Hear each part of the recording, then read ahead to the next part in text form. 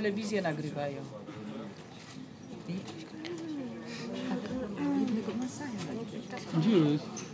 No to myślę, że już możemy zaczynać. E, W imieniu Fundacji Anny Dymnej mimo wszystko witam Państwa bardzo serdecznie na dzisiejszej konferencji, e, której tematem jest nasza wyprawa na Kilimandżaro. E, Tytuł wyprawy i tytuł konferencji Każdy ma swoje Kilimandżaro. Bardzo serdecznie chciałam przywitać Panią Annę Dymną. I może zacznę od e, naszej e, fundacji, naszej ekipy Piotra Pogona, który jest koordynatorem wyprawy pana Jacka Grzędzielskiego z Salewy, która jest naszym dobrym duchem tej wyprawy i nie tylko. Panią e, Małgorzatę Musiał z Africa Line, operatora wyprawy. Chciałam też przywitać e, w szczególności dziewięciu wspaniałych uczestników. E, panią Katarzynę Rogowiec, panią Angelikę Hrabkiewicz-Gądek, pana Jana Mele i tutaj pozostałych naszych uczestników, pana Krzysztofa Głąbowicza, pana Łukasza Żelechowskiego, pana Piotra Truszkowskiego, pana Jarka Role i wszystkich pozostałych uczestników e, tej wyprawy. A Krzysiu. Właśnie go nie widzę. A, tutaj jest Krzysiu. Właśnie. I Krzysztofa Gardasia, który się nam schował troszeczkę za ciemnymi okularami. Chciałam też przywitać wszystkich e, przedstawicieli firm, którzy są tutaj z nami. Troszeczkę się ukrywają, ale mam nadzieję, że w ciągu tej konferencji też e, będą, e, mam nadzieję, również zabierać e, głos. E, razem z Małgosią Wach dzisiaj poprowadzimy tą konferencję i oddaję Małgosi głos w takim razie. Ja powiem dwa zdania na początek, że dziękuję Wam wszystkim. Przyszliście w sobotę. Zamówiliśmy specjalnie dla Was pogodę. Wiem, że to nie jest najszczęśliwszy dzień dla dziennikarzy, tym niemniej e, i tym bardziej nam jest miło, że tutaj jesteście z nami. Jestem pewna, że nie będziecie żałować. To jest wydarzenie, którego jeszcze na świecie nie było. Dotąd nikt na wózku nie wspiął się na Kilimandżaro, a w tej ekipie, którą macie po prawej stronie, są trzy takie osoby. E, Mam nadzieję, że w ciągu postaramy się szybko skończyć tą konferencję, żeby, żebyście mogli pisać, nagrywać, ale mam nadzieję, że jak będziecie stąd wychodzić, nie będziecie żałować, bo poczujecie, że bierzecie udział w naprawdę ważnym wydarzeniu.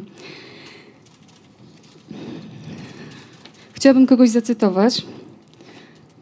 Ta wyprawa tak naprawdę opowiada o tym, że życie każdego z nas jest zdobywaniem szczytów.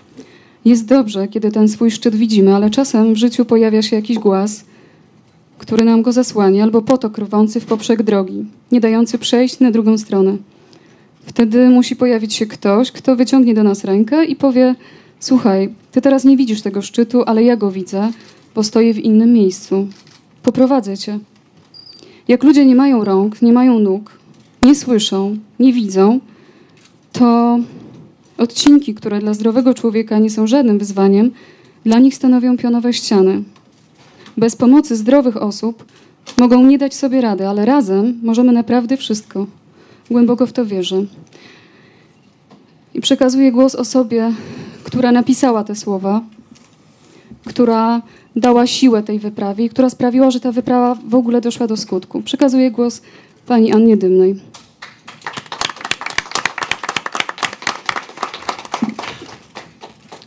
Proszę Państwa, wiecie dlaczego my tę wyprawę organizujemy?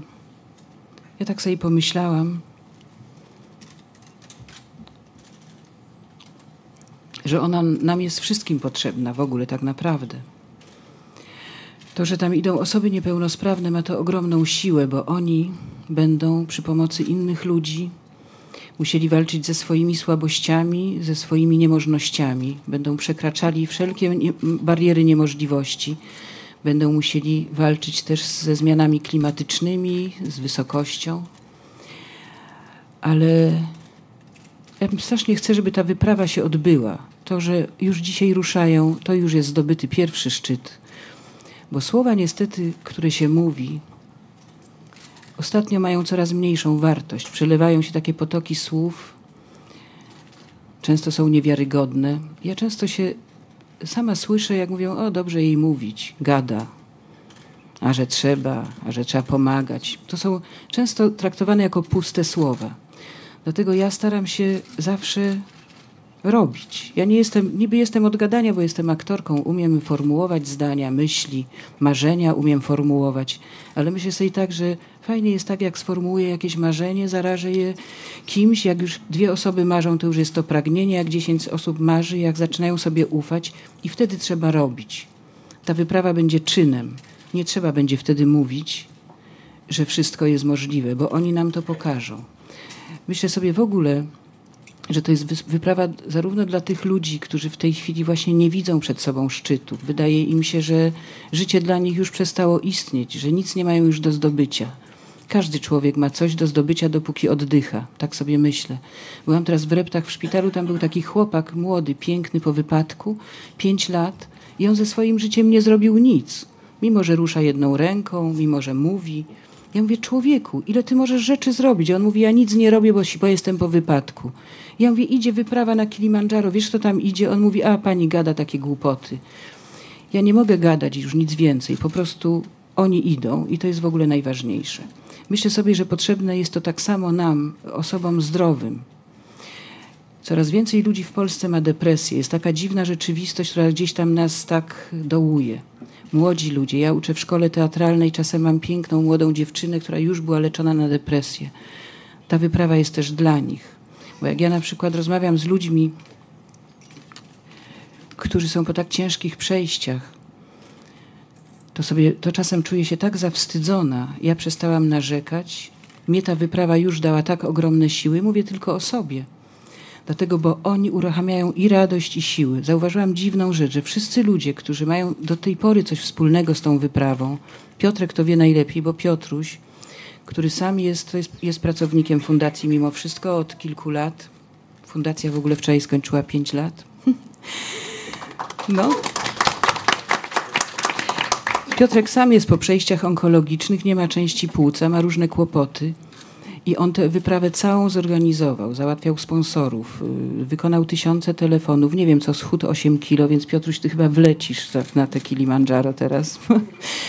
W każdym razie Piotrek sam wie, y, jakie to, jaką to radość uruchamia w ludziach, że komuś się coś chce, że ktoś chce coś zdobyć, że, że coś chce pokazać. To nawet nie po to, żeby pokazać, żeby sobie coś udowodnić. No i, i po to my to robimy. Ja nie wiem, czy wszyscy tam wejdą. Oczywiście marzę, marzę o tym, żeby wszyscy stanęli na szczycie, żeby wszyscy jakby tak bliżej nieba mogli coś tam wyszeptać, komu trzeba. Ale to nie jest ważne. Ważne, że idą razem. Jeszcze chciałam powiedzieć coś, oczywiście ja się powtarzam, bo ja jestem jak taki muł, cały czas mówię to samo, bo ja to samo myślę. Że jest jeszcze jedna bardzo ważna rzecz w tej wyprawie dla mnie – że jest taka jedna wartość w naszym życiu, która ostatnio została strasznie zniszczona, podeptana. Przez ostatnie lata coś takiego się dzieje. Mianowicie zaufanie. A zaufanie jest siłą niezwykłą. Ja jestem aktorką i na przykład miałam takie szczęście, że pracowałam na przykład z Konradem Swinarskim. To był wspaniały reżyser, psycholog, świetny i on wiedział o tym, że trzeba aktora obdarzyć zaufaniem. Trzeba mu powiedzieć, słuchaj, ty tę rolę zagrasz teraz najlepiej na świecie. Człowiekowi, jak mu ktoś ufa, rosną skrzydła i zdobywa wtedy rzeczy niemożliwe. Ta wyprawa jest dla mnie takim symbolem zaufania, bo przecież tak, po pierwsze nam zaufali ludzie, którzy dali nam na to pieniądze. Bez nich ta wyprawa by się nie udała, bo niby skąd fundacja malutka ma mieć tyle pieniędzy. Wyposażyli nas, dali nam różne pieniądze na przeloty, na zorganizowanie. Też jakiś palec Boży w tym jest, że nagle się Grzesiu Kępski znalazł w Tanzanii. Wtedy jak myśmy marzyli o tej wyprawie, on sobie pomyślał, że fajnie by było z nami współpracować. To wszystko jakieś takie dziwne zdarzenia. Ale i, i to zaufanie ludzkie wokół tej wyprawy to już widać. To jest ogromna siła. A przecież sama ta ekipa, która idzie. Łukasz tam siedzi, nie widzi od urodzenia.